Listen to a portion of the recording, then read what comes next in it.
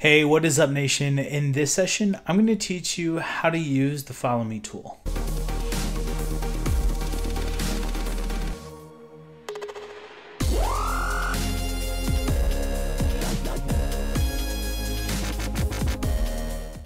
I opened this file and it has this rudimentary house and. It's kind of a conceptual house and it the form looks great, uh, but we want to start to add detail to it. And a great way to do that is using the follow me tool. So if I click into this group um, and then look at the, uh, you can see there's a little shape here. What I want to do is I want to add trim around this window opening. Um, and you could extrude this up and then chamfer the edge and then extrude it over and chamfer, uh, but that's tedious. Um, and the follow me tool will allow you to do that in one smooth step.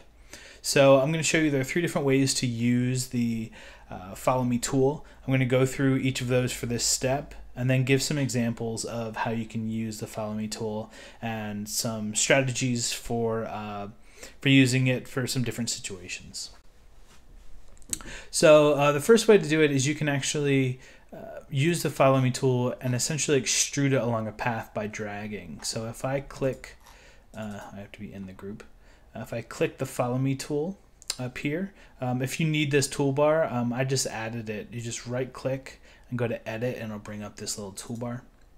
Um, if you just hold the hold down left click, it'll give you this little red line and you can essentially trace whatever you want to extrude along. I'm going to go to here. Um, but you can see it didn't chamfer that last edge, so let's try it again. If I stop, there we go. So you can see it now it, it went all the way around chamfer that edge. We have a nice cool little detail here of the uh, trim. Um, so that's one method. The second way is you can select the lines that you want to extrude along and then hit follow me and then hit your shape and it'll extrude along the path. And the third way is I could select this face so that this has the bounding edges. I can select the face um, and then hit follow me and then hit that shape and it'll extrude along there. So the, the face is nice because you don't have to actually select anything. Um, you select one thing and then you're good to go. Um, so I prefer that method when I can use it. Um, and then I prefer the uh, selecting the lines individually when I can. Uh, and then lastly, extruding along a path by actually dragging it. Uh, sometimes it's a little tough to do that. Um, you don't actually get, you, you saw the first time that I didn't get what I wanted, so I had to do it again. So those are three ways, and this is just one method of how to do that. I loaded in this profile of a half round gutter, and this is also a great thing that you can use the um, follow me tool for. So I'm going to select this line here that goes all the way around, and then come back, hit the follow me tool, and select this face, and it'll extrude along the path. Um, one thing that you notice is that it's reversed.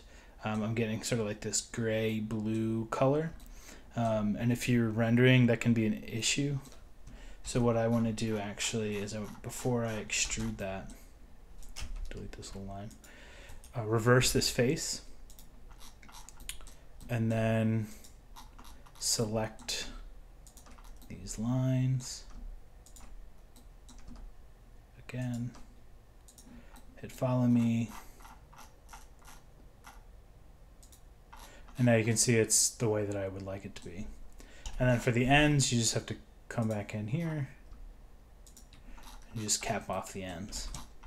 So, um, so that's one really nice and easy way to get sort of a, a dynamic looking gutter um, that has some depth to it. It's not just one single shape. It is is actually how they would make a gutter. Um, and it's super easy.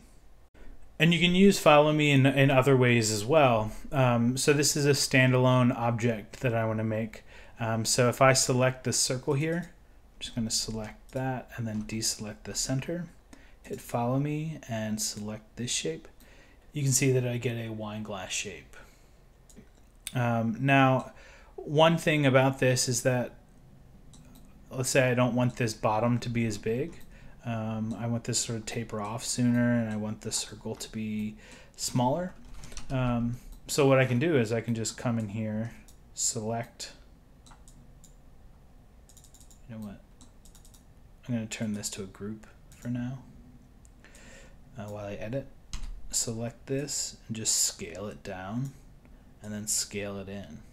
So maybe I'd have a little bit of a smaller uh, radius. I'm just going to explode this. Don't need that center. So I can double click the outside. You can see that I can quickly edit things and then use the follow me tool again. Here's another example. Uh, what I want to do is I want to extrude this sort of like this profile along a square. You can certainly do that. So if I select this square here and hit follow me and select the outside, you can see again I have those blue faces. But um, if you right click on this, hit reverse face, do the same thing. Now it's all white. And the last thing I want to show is uh, everything that we've shown so far has been addition. So it's been um, adding something. You can also use the follow me tool to um, subtract something. So if I want to have like a beveled edge um, around here, what I can do is select the follow me tool and just drag this around. Oops. You can see I'm getting those issues that I was worried about earlier. So what I'm going to do is just select the lines I'm still getting the issue.